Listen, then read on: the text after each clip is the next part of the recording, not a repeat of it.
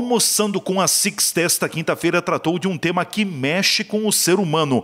Mente saudável e produtiva foi a temática tratada pela diretora da Supera Ginástica para o Cérebro em Farroupilha, Vanessa Valentini. Durante sua palestra, Vanessa interagiu com os presentes ao Almoçando com a Six no restaurante do parque, fazendo testes e atividades para estimular o cérebro. Ela destacou que é preciso fazer com que o cérebro seja retirado da zona de conforto. Vanessa também frisou de que a alimentação correta ajuda no desempenho do cérebro. De acordo com ela, nosso cérebro precisa ser constantemente treinado e preparado para bem responder às nossas atividades diárias.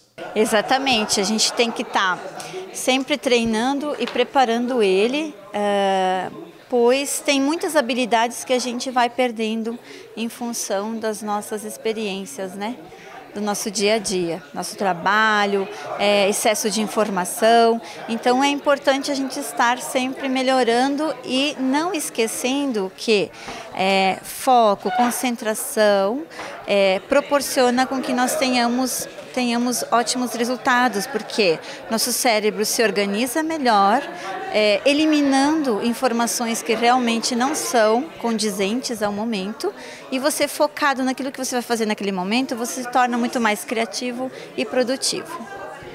Como tirar, Vanessa, como tirar o cérebro da zona de conforto? Ah, ótima pergunta. Tirar o cérebro da zona de conforto é importante você é, promover atividades novas, variadas e desafiadoras. E é dessa forma que o Supera acaba proporcionando, né? Jogos, atividades, né? Pedagógicas, aonde uh, o cérebro precisa pensar, mas com um gostinho de quero mais, não querendo desistir no primeiro momento. E nesse universo de tantas crenças e tantas culturas já consolidadas, como é que a gente consegue mudar o cérebro? Nós conseguimos melhorar, eu diria, né, o cérebro e as habilidades que a gente já vem trazendo é, através de exercícios. Né?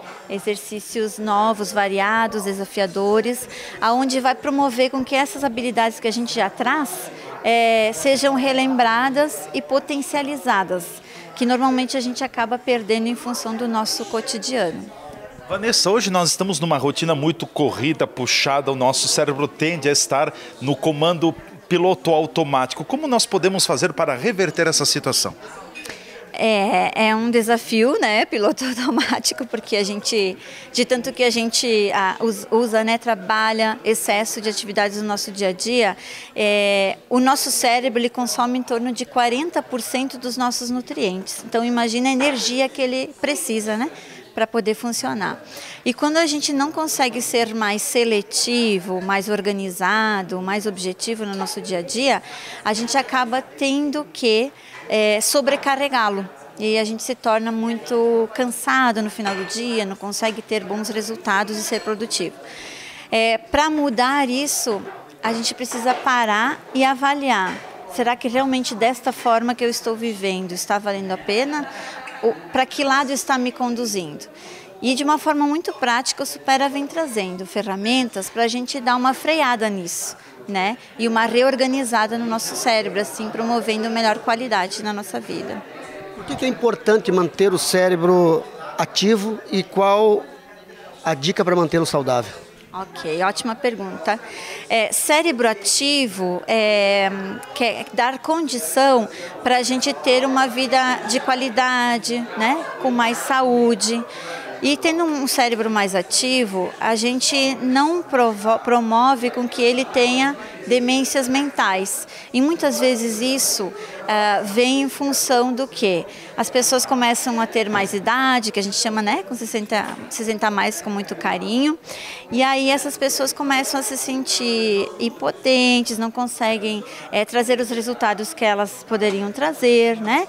E, e isso não é verdade. O problema é que Uh, a partir do momento que a gente para de trabalhar, de ser produtivo no nosso dia a dia, é, a gente deixa, a gente entende que não podemos dar mais resultados.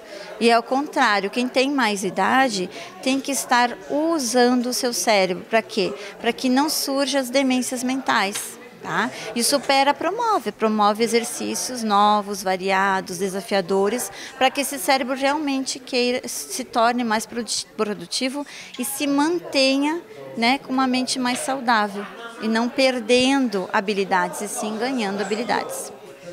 A mente saudável ela tem muito a ver com o corpo saudável, quer dizer, os hábitos que a gente tem às vezes que são, é, que, não, que são prejudiciais é, sim, exatamente. Porque assim, o que, que, acontece? As pessoas muitas vezes acham que o cérebro não faz parte do corpo, né? Então, é, mente saudável, sim. O cérebro, com exercícios físicos, né? Noite de sono, uma boa alimentação, tudo isso ajuda muito na, na condição de ter um cérebro mais saudável. Claro que, de novo, excesso de trabalho, não ter coerência das coisas, tudo que é demais, né, prejudica. E aí as atividades que a gente promove dentro do treino no Supera faz com que o cérebro se torne mais organizado, mais criativo, é, mais focado, né, com uma memória muito mais saudável. Porque assim, excesso de informação também prejudica, né? E como nós, nós somos orgânicos, nosso cérebro é orgânico, ele vai condizer com, com a vida que você está levando, né? Se tu está respeitando o teu corpo, o teu cérebro também vai estar saudável. Vanessa, eu gostaria de ampliar um pouquinho sobre a questão da alimentação, uma alimentação saudável. O que, que é bom para o nosso cérebro em termos de alimentação? E depois uma segunda colocação, que exercícios, que atitudes a gente pode ter no dia a dia para exercitar o próprio cérebro? Hum, ótimo. É, quanto à alimentação, né, é importante buscar é, leguminosas, é, os grãos, oleaginosas, que são uh, alimentos que vão trazer gorduras boas, né? É, alimentos que vão nutrir o nosso cérebro também. E a questão da. Hum, exercícios para o cérebro em casa, sim, vocês podem estar fazendo uma neuróbica, por exemplo, né? Que são exercícios diferentes é, da nossa rotina. Então, assim, ah, eu escovo, a mão, escovo o dente com a mão direita. Você pode, de vez em quando, estar tá promovendo essa escovação com a mão esquerda. O que, que vai acontecer?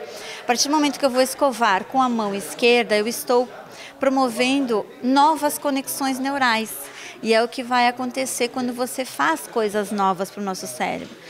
Ou seja, a gente tira o nosso cérebro da zona de conforto, a gente promove uma atividade nova, variada, desafiadora, né? Porque escovar com a mão que não é predominante é desafiadora e é prazeroso quando você consegue fazer, né? Então aí criando novas ah, novas conexões neurais, você começa a criar um cérebro, né? Mais ágil, mais fortalecido, com, com uma rede neural maior, né? Então, assim, além de escovar os dentes com outra mão, você pode estar tá lendo uma frase de cabeça para baixo.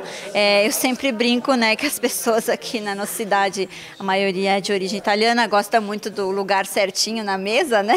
Então, trocar o lugar da mesa. É, buscar caminhar em lugares diferentes, né? Vai para a padaria, busca um outro caminho, vai para, né, para para, enfim, para os lugares, para casa, para o trabalho, para a escola, enfim, né? Então tudo isso se chama neuróbica e já pode estar produzindo novas conexões neurais e fortalecendo esse cérebro.